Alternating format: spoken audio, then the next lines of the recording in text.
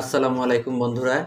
SMP টেকবিডির পক্ষ থেকে আজকের ভিডিওতে আপনাদের সবাইকে স্বাগত বন্ধুরা, বর্তমানে আমরা যারা টিন সার্টিফিকেট করেছি, তাদের জন্য কিন্তু আয়কর রিটার্ন দাখিল করা বাধ্যতামূলক। এখন আপনি এই আয়কর রিটার্নের জন্য যখন অনলাইনে নিজে থেকে করার চেষ্টা করতেছেন, তখন কিন্তু আপনার অনেক সময় এরকম রেজিস্ট্রেশন ব্লক চলে আসে। তো এই রেজিস্ট্রেশন ব্লকটা কেন আসে বা কীভাবে এটা সমাধান করবেন, সেই জিনিসটাই আজকের ভিডিওতে আপনাদেরকে দেখাবো। তো বন্ধুরা, মূল ভিডিওতে যাব। মূল ভিডিওতে যাওয়ার আগে আপনাদের কাছে একটি অনুরোধ, যারা আমার চ্যানেলে নতুন, তারা অবশ্যই চ্যানেলটিকে সাবস্ক্রাইব করে পাশে থাকা বেল আইকনটি ক্লিক করে দিবেন।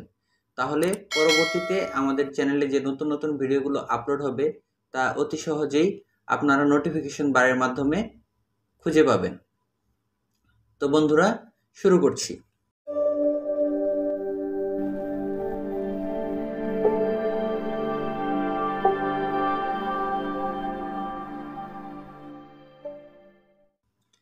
আমরা এখানে যে সাইটটা রেজিস্ট্রেশন করতে বলে আমাদেরকে, এই রেজিস্ট্রেশন করার জন্য আমরা যখন এখানে লগ ইন করতে চাই, তখন সাধারণত কয়েকটি কারণে আমাদের এটা ব্লক হতে পারে।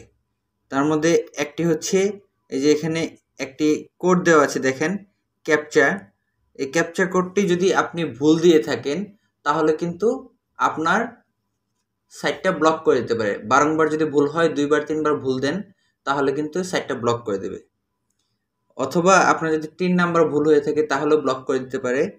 আর একটা মোস্ট ইম্পর্ট্যান্ট থিংস যেটা হচ্ছে, সেটা হচ্ছে আপনার মোবাইল নাম্বারটা তো অনেকে বলে থাকবে আপনাকে, আপনার এনআইডি কার্ড তৈরি করার সময় যে মানে আপনার মোবাইল নাম্বারটি দিয়েছেন, সেই মোবাইল নাম্বারটি এখানে ব্যবহার করতে। তো অ্যাকচুয়ালি কিন্তু তা না। এখন বর্তমানে এক একটি সার্ভার ন্যাশনাল যে সার্ভারগুলো আছে, একটা একটার সাথে link up NID server TIN server এগুলো সব একটা একটার সাথে লিঙ্ক আপ ইভেন কি আপনি যে মোবাইলটি বায়োমেট্রিক করেছেন, সেটাও কিন্তু আপনার এটার সাথে লিঙ্ক আপ আছে। সো ইনফরমেশন যখন আপনার মিলবে না, তখনই কিন্তু আপনার সাইটটি ব্লক হয়ে যাবে। ধরেন আপনি একটি, আপনার বন্ধুর কাছ থেকে একটি সিম উপহার পেয়েছেন। তো ওই সিমটি কিন্তু তার নামে রেজিস্ট্রেশন করা। সে আপনাকে সিমটি দিয়েছে। অথবা আপনার হাজব্যান্ড অথবা আপনার ওয়াইফ তার নামে রেজিস্ট্রেশন করে আপনাকে একটি সিম দিয়েছে। আপনি সি সিমটি ব্যবহার করতেছেন সিমটি আপনার হাতেই আছে। তো আপনি যখন এখানে ওই সিম নাম্বারটি দিবেন, তখন যখন সার্ভারে এটা সার্চ করে দেখবে যে না, এই সিমের যে নাম, যে মালিক সেই মালিকের সাথে টিনের মালিকের তথ্য মিলছে না, তখনও কিন্তু এটা গরমিল পাবে এবং আপনাকে এটা সাইটটা ব্লক করে দেবে। এখানে দেখেন, ওরা কিন্তু একটা গাইডলাইন দিয়েছে। সেই গাইডলাইনটিও আমি আপনাদেরকে দেখাচ্ছি। এখানে ওরা খুব সুন্দর করে বলে দিয়েছে you will need a biometrically verified mobile phone number for using e return তার মানে হচ্ছে আপনাকে ই রিটার্ন দেওয়ার সময় যখন রেজিস্ট্রেশন করবেন, অবশ্যই আপনার নিজের নামে বায়োমেট্রিক করা একটি মোবাইল নাম্বার দিতে হবে। এখানে আপনার যে ভোটার আইডি কার্ড করার সময় যে নাম্বার দিয়েছিলেন, সেটি দেওয়া কিন্তু বাধ্যতামূলক নয়।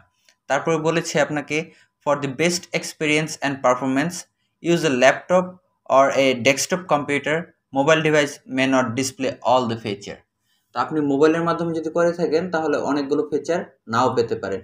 এজন্য আপনি ডেস্কটপ অথবা ল্যাপটপ যদি ইউজ করেন, তাহলে কিন্তু বেস্ট ফিচারটি পাবেন। Then let's to maintain confidentially of your text information, never share your OTP or password with others. তার মানে আপনাকে যখন যে মোবাইল নাম্বারটি দিবেন, সেই মোবাইল নাম্বারে আপনার একটি ওটিপি পাঠানো হবে মানে ওয়ান টাইম পাসওয়ার্ড পাঠানো হবে। সেই ওয়ান টাইম পাসওয়ার্ডটা কিন্তু কারোর সাথে কখনোই শেয়ার করবেন না। বন্ধুরা, শুধু এটার ক্ষেত্রে না অন টাইম পাসওয়ার্ডটা সবসময় আপনার ব্যক্তিগত। এটা কখনোই কখনোই কাউকে শেয়ার করবেন না। এটা আপনার নিজের সিকিউরিটি আপনি নষ্ট করবেন না। এখন বন্ধুরা, বাকিগুলো আপনারা পড়ে নেবেন। এই তিনটাই ছিল ইম্পর্ট্যান্ট এখন যদি কোনো কারণে ব্লক হয়ে যায়, আপনার সাইটটি ব্লক হয়ে গিয়েছে, তখন সেক্ষেত্রে আপনি কি করবেন? এই ব্লকটা ছাড়ানোর জন্য আপনি কি পদ্ধতি ব্যবহার করবেন বা কীভাবে আপনি এটা ছাড়াতে পারবেন? তা আমার সাইটটা ব্লক করে দিয়েছিল। তা আমি কীভাবে ছেড়েছি সেটাই আমি আপনাদেরকে এক্সপিরিয়েন্সটা শেয়ার করছি। তো এটার জন্য ওদের একটি হেল্পলাইন আছে। ওই হেল্পলাইনে আপনি কল দেবেন। হেল্পলাইনের নাম্বারটি আমি স্ক্রিনে দিয়ে দিচ্ছি। আপনারা চাইলে নোট করে রাখতে পারেন। নাম্বারটি হচ্ছে nine six one two seven one seven one seven one তার আগে অবশ্যই বাংলাদেশের কোড নাম্বারটি বসিয়ে দিবেন প্লাস এইট এইট জিরো তারপর এই নাম্বারে কল দেওয়ার পরে একজন আয়কর কর্মকর্তা আপনার ফোনটি পিক আপ করবে।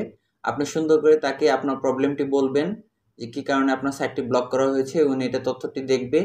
দেখার পরে একটি কমপ্লেন নাম্বার আপনাকে দিবে এবং ওনাদের যে টেকনিক্যাল সাপোর্ট টিম আছে, সেই টিমের কাছে এটা হস্তান্তর করা হবে এবং পরবর্তী সপ্তাহে দ্যাট মিন্স আপনার মোটামুটি পাঁচ ছয়টা ওয়ার্কিং ডে পরে আপনি আপনার সাইটটি আবার ফিরে পাবেন, আপনাকে আবার আনব্লক করে দেওয়া হবে।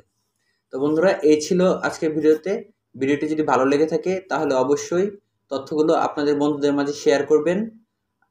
আপনাদের মতো, আপনাদের বন্ধুরাও এই ভিডিওটির মাধ্যমে যদি উপকৃত হয়ে থাকে তাহলে সেটাই হবে আমার ভিডিও তৈরি করার জন্য সার্থকতা। ভালো থাকবেন, সুস্থ থাকবেন, এই প্রত্যাশায় আল্লাহ হাফিজ।